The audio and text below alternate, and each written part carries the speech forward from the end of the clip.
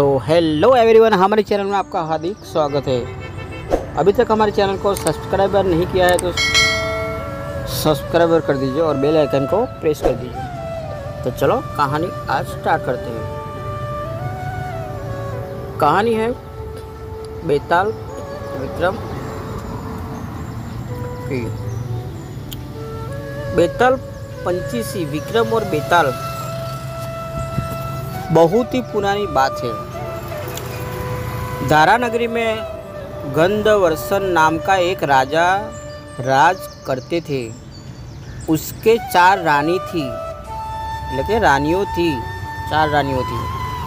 और उनके छः लड़के थे, जो सबके सब बड़े ही चतुर और बलवान थे।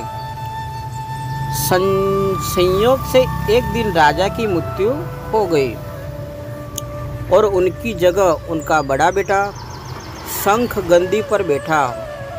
उसने कुछ दिन राज किया, लेकिन छोटे भाई विक्रम ने उसे मार डाला। छोटे भाई विक्रम ने मार डाला इसको और स्वयं राजा बन बैठा और खुद राजा बन गया मार के। उसका राज्य दिनों दिन बढ़ता गया और वहाँ सारे जम्बूद्वीप का राजा बन बैठा। एक दिन उसके मन में आया कि उसे घूमकर सैर करनी चाहिए, लेकर घूमना चाहिए।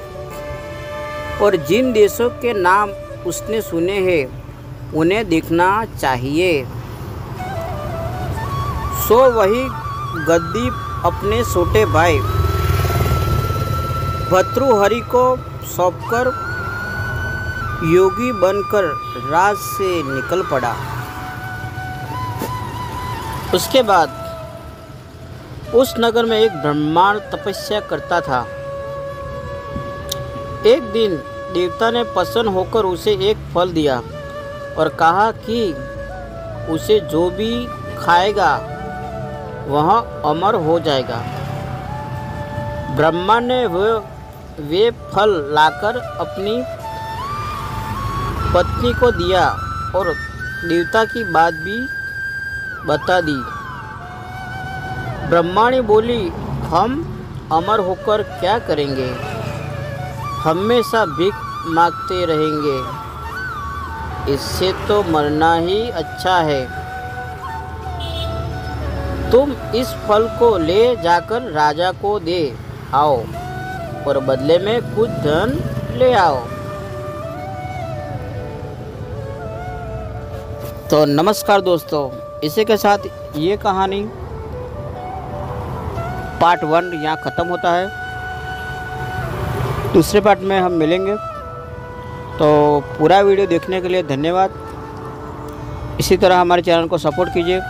इसी तरह ये पार्ट, दूसरा पार्ट लेके आएँगे।